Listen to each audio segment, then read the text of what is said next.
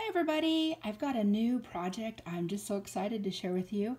I made this as a gift for someone and it comes in two parts. So this is an envelope, which we're gonna open in a minute. And this is the journal. So I've got it tied closed with some string. I've gone real simple on this. Um, some people call it a naked journal uh, because I did not put anything in it. Um, so it's a cardstock with a coffee dyed paper lined cover.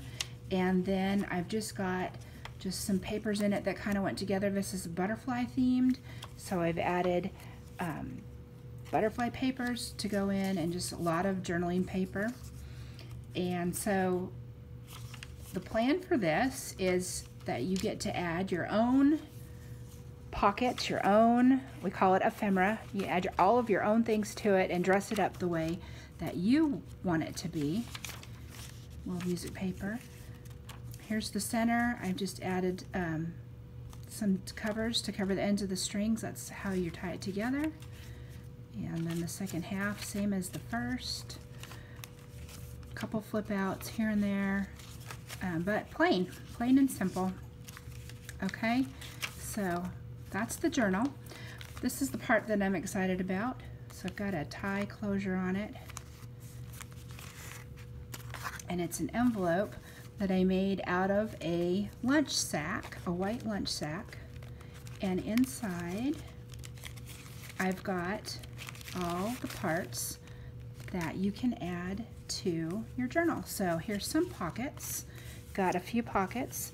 And what you do is you just go in and you find a page. That's probably not a good page. Let's find a, here's a plain page. You can glue this down and it'll make a pocket. Okay, so we have three different, three different ones of those. And then I have a flip up pocket and it goes down like this. And the pocket part is right here. And you can write on the inside of this because you've glued this triangle down. Okay, so then I've got um, two envelopes and inside the envelope is a little note card so that can be paper clipped over the edge of any page if you want to add those to your journal.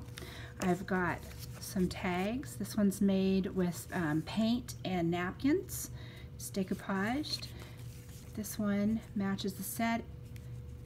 Okay, We've got a little tag. I threw in this beautiful butterfly um, thing. You can't write on it, but it's just for pretties. We'll come back to that. Here's two more pockets here. So these would just get glued down and you have a pocket. So journaling card. These two here um, can be glued to a page and they can flip up, either one of these, or you can just use them um, as a journaling card. Got some receipts. Just printed them out, folded them. I've inked up everything so it's all ready to go in your journal. We've got a few postcards, green one, trying to keep everything, here's a, in the same color scheme. Here's a pink receipt, I just love the color of that one. A couple more journaling cards, one with butterflies, and then inside of this, um, I've put a bunch of little pieces for you to decorate with. It's just an envelope. So we've got, let me move this all the way. We've got some butterflies, I put in a piece of cheesecloth that's been dyed. Um, that looks good underneath papers with layering and stuff. I've added some labels, a little faux stamp, some um, more labels, butterflies, and a couple of little cards that might be cute throughout your book. Um, but this new style is just for fun, and you know you can use this uh, later, you can put something in it, whatever you want to use it for, but right now it's just holding all the ephemera. So anyway, I thought this is perfect gift for somebody who likes to craft and where they can do the journal themselves instead of me doing all of it. Let you have some of the joy of creating. Thanks for watching.